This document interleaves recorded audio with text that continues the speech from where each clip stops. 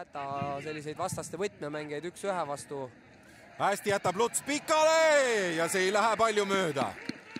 alas ka juba teele ootamas, Ojamaa ääre pealt jooks täiesti vaba, nüüd saab Ojamaa rahulikult vaadata, kuhu seda palli panna. madalalt Luts ja. ai, ai, ai, kui hea võimalus.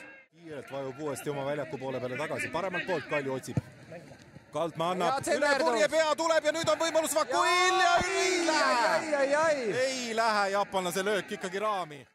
Korra nägite veel uuesti Fredo Getulio Aureliot, kes siis Sergei Terehovi asemel nüüd ilmselt hooaja lõpuni peatreener on, väga hea pall tuleb ja esimene, esimene Ilja Antonov.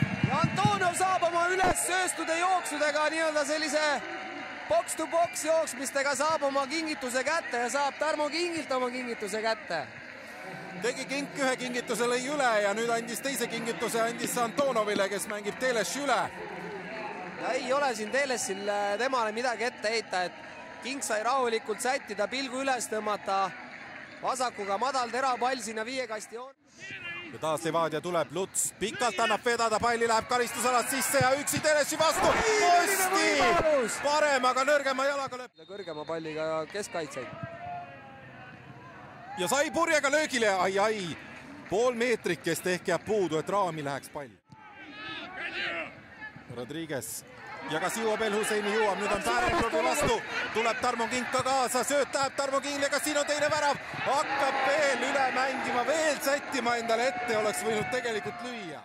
söödud on ebatäpsed olnud. Osavalt Neemelo, nüüd tuleb hea pall ja kas jõuab, Purje tõstab üle, ai, värava lati peale läheb see pall mööda ettepoole. Neemelu suunas ja Neemelu hästi jätkab Vakuile. Neemelu sissetulek on äh, parandanud selgelt mängupilti, nüüd Priit Pikk päästab ja Neemelu ei ulata. ja taas Neemelu karistusalas ja kas saab ka löögile, sätib, üheteistkümne meetri karistuslöök tuleb. Neemelu võitleb mitme mehega, kõik ripuvad tal küljes kuus väravat sel hooajal penaltist Vakuilt ja paneb seitsmenda ka hooaja üheteistkümnes värav ja veerand tundi mängida tablool üks-üks. Levadia kümnekesi, Kalju üheteistkümnekesi ja minna veel. veerand tundi. jah, viisteist, kuusteist minutit veel, et